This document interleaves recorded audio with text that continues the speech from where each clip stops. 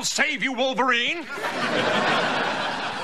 Not one of their better episodes. I'm